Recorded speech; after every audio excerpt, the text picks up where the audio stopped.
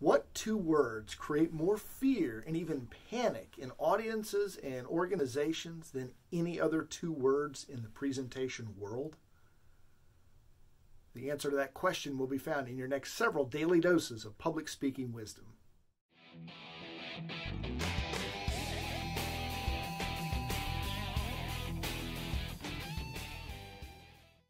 As you may have guessed from my opening question, the two scariest words in the presentation world are PowerPoint. In some cases, it's one word. I've seen it spelled both ways, irrespective. It's scary. PowerPoint has gotten a bad name in the last 20 to 30 years. It was originally designed to be a supplement to presentations, and somewhere along the way, it became the presentation itself. As a result, tens, if not hundreds of millions of audience participants have suffered since. In the next several videos, I want to address a key question. Why should we use PowerPoint, or in some cases, why shouldn't we use it? I will confess, for at least 20 years, I was a huge anti PowerPoint person.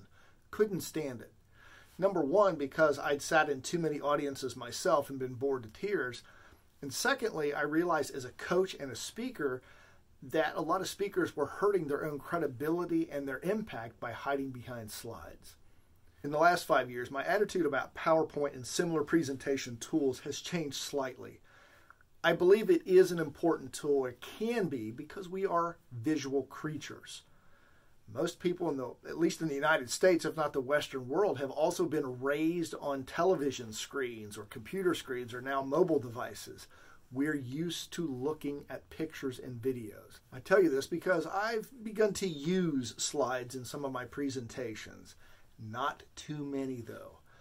What I want to give you in these next several videos is some insight into what I've learned from leading presenters and also brain scientists.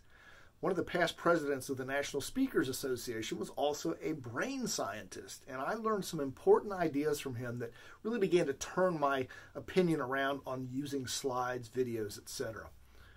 That's what we'll be covering in the next several videos. So for this one, I want to leave you with what I call my golden rule of PowerPoint, and that is this. Never create a PowerPoint before you write your presentation.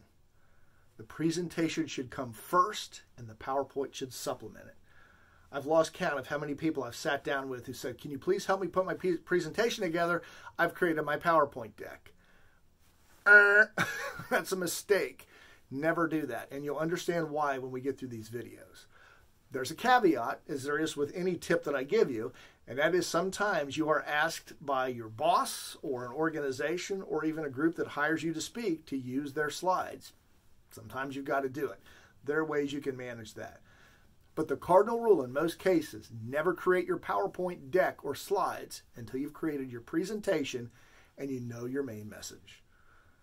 We'll talk to you on our next Daily Dose of Public Speaking Wisdom.